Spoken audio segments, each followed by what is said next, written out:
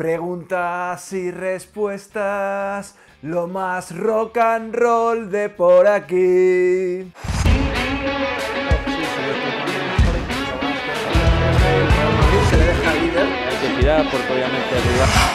Del Real Madrid.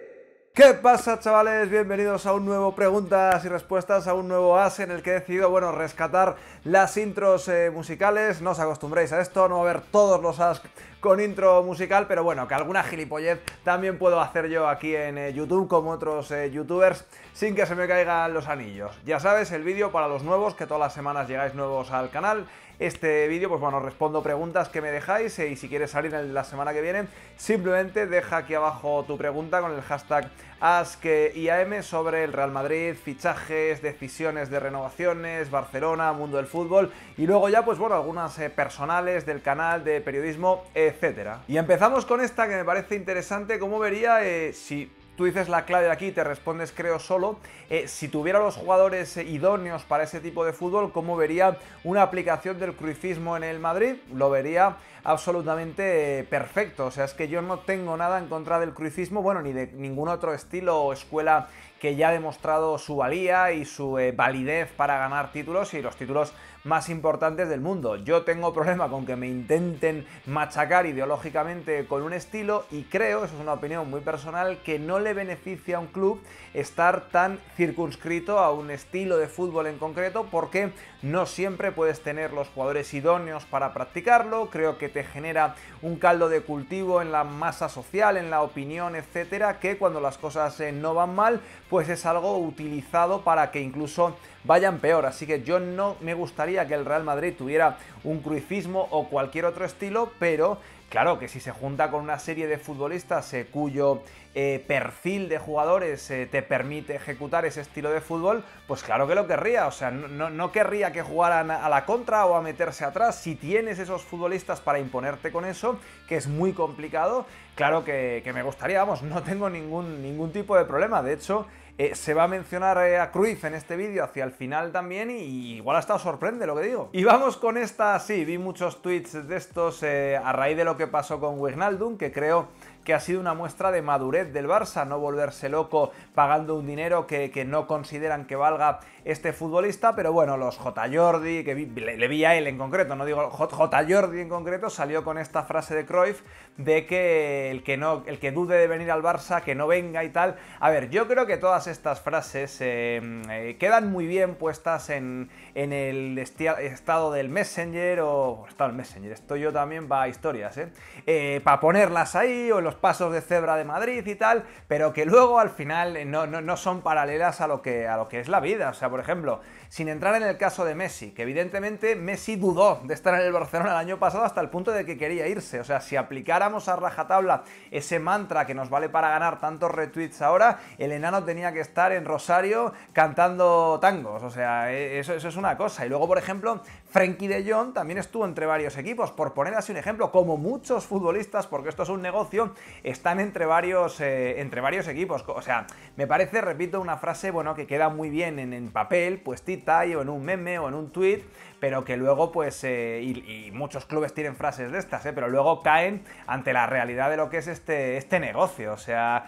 en esta vida ser la primera opción de alguien es muy complicado. O sea, luego ya te apañas con, con lo que te toca en la vida y, y- y puede estar muy bien, pero, pero es que si nos ponemos así, o sea, no tendríamos ni trabajo, ni pareja, ni equipo, ni jugadores, ni, ni absolutamente nada. Repito, me parece que para los mil y pico tweets de J. Jordi ya cumplió su servicio, pero para poquito más. Bueno, y esta, eh, sí, yo he hablado mucho en el canal de, de las prácticas, bueno, eh, pues... eh, que hemos visto de Sergio Ramos y su entorno, zafias, filtrando, metiendo ahí, contando historias, intentando llevar el debate hacia el tema este emocional, contando alguna que otra mentira que otra. Pero claro, el Madrid sí, el Madrid también, en el caso de Sergio Ramos, pues sí que ha bajado al barro y sí que ha jugado al juego de las filtraciones y también el Madrid eh, le ha respondido a su capitán con, con algo de mierda que, que- han contado algunos de sus... eh, de sus eh, periodistas de, de cámara, es, es evidente. Ahora, ahora bien, creo que aquí hay una principal diferencia. No habremos visto al Real Madrid filtrar nada malo mm, absolutamente de Karim Benzema o de Luka Modric en ese sentido, porque creo que en esto en concreto lo del Real Madrid ha sido una respuesta a las artes eh, que ha intentado llevar el capitán del Real Madrid y su entorno, pues con René, con los Pedro Riesco, con sobre todo los que tienen en la prensa, Juanfe, Lama, etcétera, pues yo creo que ahí, bueno, pues en ese sentido el Madrid sí que no ha puesto la otra mejilla, como probablemente tendría que hacer en otros temas, pero bueno, sí, o sea, también ha habido guerra sucia por parte del Real Madrid, pero insisto y lo pienso de verdad, creo que ha sido como respuesta a la zafiedad, a la a las mentiras y a cómo pues te intentaban vehiculizar el debate esta gente. O sea, te estaban diciendo, no, no hay dinero para pa Sergio, pero hay para Mbappé. No, eh, es el escudo del Real Madrid. O sea, yo creo que, bueno, cuando lo han intentado llevar por ahí, pues el Madrid también ha utilizado sus resortes en los mismos programas, algunos. O sea, creo que haya sido hasta justo porque Sergio Ramos ha querido bajar esto a ese lodo y en ese lodazal, evidentemente, el Madrid pues también tiene, por utilizar el, símil de un lodazal, también tiene sus cerdos. Y esta sí sería la palabra que me dices, no me acuerdo si es preocupante, si es tal, eh, no traer a alguien con gol.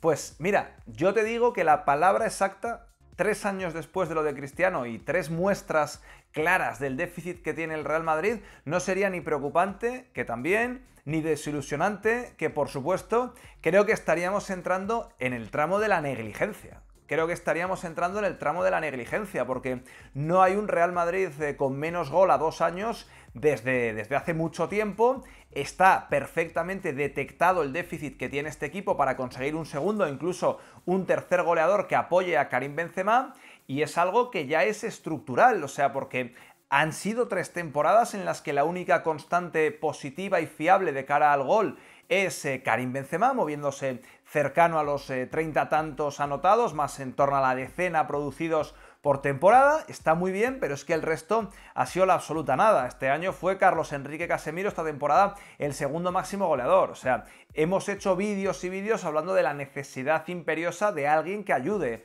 Eh, no hubiera sido jamás un segundo espada de un equipo como el Real Madrid, pero claro, eh, del Asar de ahora al Asar de toda su vida que analizamos el otro día, de 12 goles por temporada sin penaltis, hombre, con 12 goles de Asar esta temporada estoy convencido que el Real Madrid habría sido campeón de liga.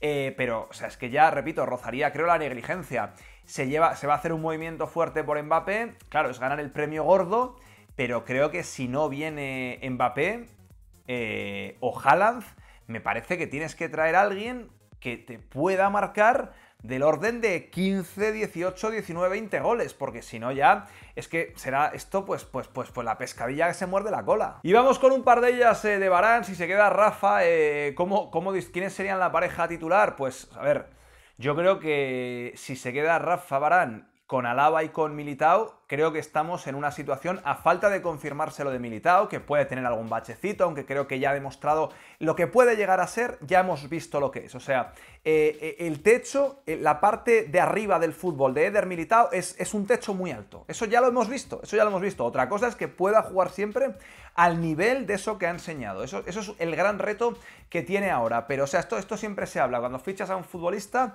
cuál puede ser su suelo, cuál puede ser su promedio, cuál puede ser su techo el, suelo de Militao, bueno, puede ser bajito, lo hemos visto también en algunos partidos sueltos, pero el techo que hemos visto durante dos meses es ese. Si no tienes eso dentro, no puedes engañar ni dos meses. Si se confirma eso, yo creo que tienes a tres súper centrales, súper centrales para, para, rotar, para rotar y que, que, jueguen mucho los tres, como cuando Pepe estaba a su gran nivel, con Rafa Barán y con Ramos. O sea, me parecería, vamos, eh, por utilizar una palabra, sea, si, si Militao eh, se tira ocho partidos sin jugar eh, seguidos, en condiciones normales de que esté. Me parecería una locura, una locura. O sea, yo creo que tendrías una gran fuerza con esos tres centrales para, para, para hacer un equipo muy sólido que vayan rotando, etcétera, y tres centrales de absolutas garantías, dependiendo quizás del perfil del rival, poder utilizar uno a otro, no necesariamente que vaya a tener que sobrecargarse ninguno, que Barani y Alaba pues no son viejos, todavía no han entrado en la treintena, pero si se les puede cuidar más mejor, pero vamos, creo que sería un combo buenísimo, creo que ahí estarías pues en el eh, eh, en el porcentaje más alto, o, sea, si esto fuera porcentajes y tal, estarías en la parte de muy muy arriba respecto a, tríos de centrales a nivel del fútbol europeo, o sea, no tengo ninguna duda de eso. Y esta, que bueno, si Barán pidiera el dinero de Alaba para quedarse 12 millones El tema de Alaba es que ha conseguido ese contrato por esperar al último año, venir solo a cambio de prima de fichaje y él ha conseguido un precio por, encima del valor de su precio de mercado. Creo que Alaba, en condiciones de que tengan que pagar por él, no vale ese dinero. O sea, creo que dentro del cómputo de la operación se lo puedes pagar porque no has tenido que pagar al Bayern. Eso Rafa Barán me temo que solo lo va a poder encontrar en otro equipo. En otro equipo. Ahora bien, creo que de los seis que cobra, eh, sin reducciones, me refiero a lo que pone en su contrato, Creo que subirle a 9-10, creo que ahí tiene valor todavía ese futbolista y yo es lo que haría. Más pasta con la prima de fichaje y un mejor eh, contrato. Me temo que la va a ganar si se espera al día, al día 1 de enero, como ha hecho Alaba, y empieza a negociar con otro club. Así que en ese sentido no soy muy optimista.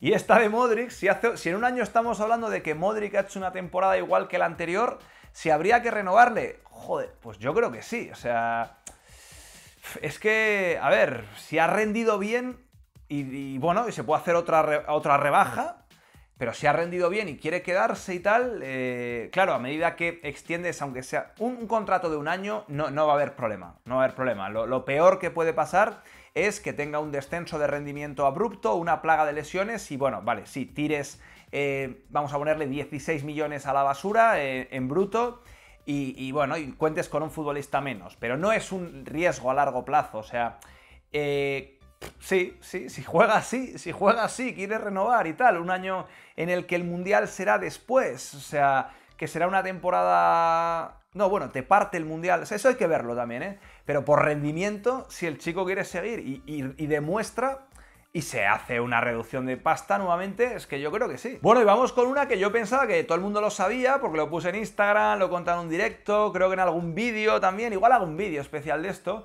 eh, que por qué no sigo en la televisión, eh, que si me habían echado, que si me había ido, que si me habían censurado, pues, pues ni me han echado ni me he ido en realidad. Eh, como vi en Estados Unidos ha perdido los derechos de emisión de la liga en, en favor de ESPN, pues bueno, mucha más gente aparte de mí, no, no, no continuamos en el canal, Jamie en Barcelona, que lleva muchos más años que yo, tampoco continúa y no es que nos hayan echado, ni que hayamos hecho algo mal, ni que la hayamos preparado, es que pues eh, por decirlo de alguna manera, era un contrato de obra, digamos, y, y, la obra ya no existe porque no hay. porque no da la liga Bean Sports y claro, no tiene sentido mantener, bueno, no, o no han podido ni mantener la plantilla que tenían allí, ni a los dos corresponsales que tenían en, España. Pero vamos, que no, que no he liado ninguna, que no me ha echado Tebas, que no me ha echado Media Pro, simplemente ha ocurrido esto. Creo que hubieran seguido conmigo otra, otra temporada si todo hubiera seguido normal. De hecho, me han dicho allí gente que si, me, si necesito referenciarlos como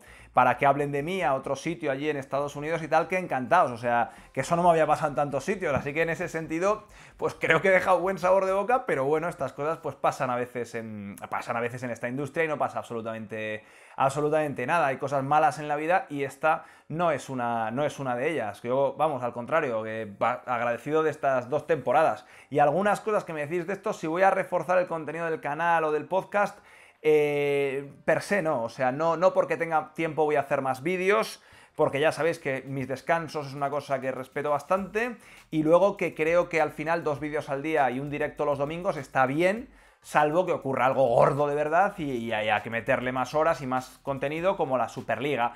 Pero ponerme ahora aquí a hablar de cualquier rumor o de, o de, yo qué sé, o de partidos que veo de oídas, eso, pues es, ese camino, pues al principio ya lo recorrí un poco para, para atraer más gente, pero ahora ya pues está en otra cosa y prefiero un poquito más de calidad, digamos, y un poquito menos de, volumen. Así que en ese sentido, pues no haré, no haré cosas, eh, algún vídeo más puede caer, porque la tele me absorbía mucho, pero yo que sé, que igual en temporada, si de media igual salían 14 a la semana más el directo, pues que alguna semana que igual puedan caer 15, uno más o algo así, o dos más, pues si me apetece sí, si hay algo que contar sí y alguna idea que tengo, que tengo por ahí. Pero vamos, no, no, voy a intentar compensar ni las horas ni lo que ganaba en la televisión metiendo aquí por meter. Y estas interesantes también, las entrevistas que más ilusión, pues mira, aquí es donde iba a rescatar de la tele Zidane, la primera con Zidane y tal, esa te diría. Y luego, pues, una que hice para el libro que escribí con mi amigo Miguel sobre el, Alavés de la final de la UEFA, Jordi Cruyff, fue una entrevista que me hizo bastante ilusión eh, hacer, fue un jugador de aquel equipo, ahora ficha por el Barça, y fue un trato excelente conmigo, lo hemos hablado alguna que otra vez para alguna cosilla que le, que le pedí y eso. Y me hizo bastante ilusión poder entrevistar a, Jordi Cruyff, por ejemplo. O sea, no sé si dijo Johan antes, no, Jordi, Jordi. Jordi, el hijo que había jugado en aquel equipo y tal, y bueno, pues eh, oye, eh, me hizo bastante ilusión y la guardo con bastante, con bastante cariño. Y enlazo con esta que si, si no poder preguntar en las ruedas de prensa ahora, porque no tengo una televisión que me valide para estar en esos sitios, si me hace menos periodista o creo, bueno, ni, creo que me hacía más antes ni me hacía menos eh, ahora. O sea, yo creo que es algo que me gustaba, porque claro, al final al final yo es lo que digo siempre, al final yo aquí, pues por más que haga mis análisis, mis tal, tener ese contacto con los jugadores, poder preguntarles algo de vez en cuando, aunque sea una pregunta al mes, pues es algo que sí que, hombre, es algo que a uno personalmente le gusta y no tanto para el ego, que al final si mi vida es igual preguntando a Modric que sin preguntar a Modric, pero es algo que te mola porque sientes ese, ese fuego, ¿no? Que, no es solo hacer vídeos desde tu casa o, o, incluso estar en la televisión hablando sin entrevistas como hemos estado desde la pandemia. Así que bueno, hombre, ojalá pueda hacerlo de alguna manera u otra, pero ni creo que era más eh, periodista antes, ni, ni, voy a ser menos ahora. Está claro que, hombre, sí que, sí que era más que el que se dedicaba a criticar mis preguntas, ¿no? Pero más no, o sí que, bueno, por lo menos yo estaba preguntando, por lo menos yo podía hacer una mala pregunta o una buena pregunta, pero estaba ahí. Venga, ahí está rápida, la NFL en Madrid, bueno, pues ojalá que sí, pueda venir al Bernabéu y, creo que será muy bueno para, para la explotación del estadio y, pues que se llenará y que yo iré, iré seguro. Y, y está la hilo como periodista que me gustaría más si cubrir una final del Mundial o Eurocopa, me decías una final de Champions, una Super Bowl o un séptimo partido finales de la NBA.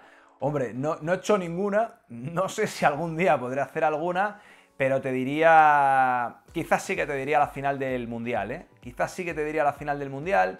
Quieras que no, pues final de Champions está en cuatro, eh, como aficionado, ¿eh? O sea, estaría ahí, ahí la final de la Champions y la final del Mundial.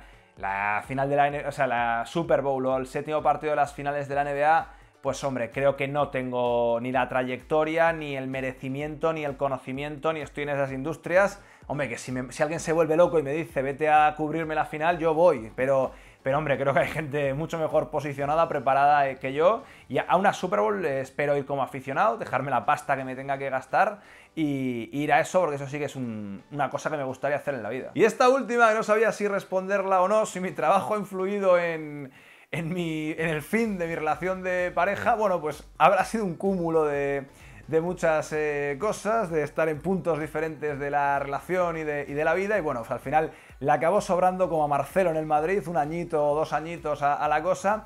Y lo del trabajo, pues bueno, no sé si no sé si influyó o no influyó. Alguna vez sí que me caía un mm, ¿te importa más el canal o lo que le vas a preguntar a Zidane que yo? O sea, pero bueno, eso yo creo que el que no tenga un canal o le pregunte a Zidane le dirán que le preocupa más, yo qué sé, el color de las escaleras de su edificio. Así que cosas que cosas que pasan, cosas que tenían que pasar y bueno, pues como, como, todo en la vida, luego al final, pues quedarte con, con, lo bueno, ¿no? Y oye, pues, pues ya vendrá, pues oye, lo que tenga que venir vendrá, tanto en el trabajo como en el amor como en la vida, como en la salud, como cantaba Julio Iglesias. Así que nada chicos, hasta aquí otro As, que espero os haya molado, cada vez más largo, pero es que cada vez lo veis más, me preguntáis más, me abro más en el tramo final, tampoco preguntéis muchas preguntas así personales, personales, porque esto no va a ser, esto no va a ser el consultorio de Paula Gonu o una de estas, ¿eh? o sea, tampoco nos pasemos.